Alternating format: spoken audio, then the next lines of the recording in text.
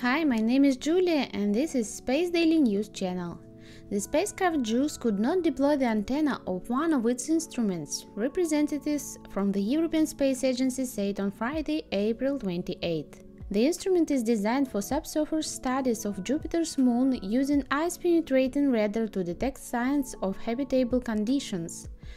The $1.1 billion JUICE spacecraft launched on April 14, 2023, and is scheduled to arrive at the Jupiter system in July 2031. It is expected to spend several years exploring Jupiter's icy moons. So far, 10 of the 11 spacecraft instruments are working fine. But the radar antenna for icy moons exploration is jammed in its mounting bracket. Engineers suspect a tiny stuck pin is holding it back. In the near future, mission specialists will make several attempts to retrieve the important instrument from its current position. The plan is to conduct a series of rotations of the vehicle that will rotate JUICE so that the radar antenna and mount are not in the shadows in order to warm them up.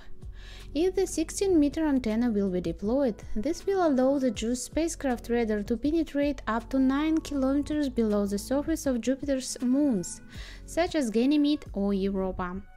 This kind of research is very important for astronomers because, for example, on Europa, according to scientists, there is a subsurface salty ocean hidden from us under several kilometers of ice. In 2016, Hubble obtained unique photographs of geysers emerging and erupting on Europa's surface. And if there is water in a liquid state on Europa, it is possible that there could be living creatures in it. Therefore, studying the subglacial oceans is one of the main goals of the JUICE mission. This is not the first time a mission of Jupiter has encountered a problem when deploying antennas. For example, NASA's Galileo spacecraft never managed to deploy a high-gain antenna correctly.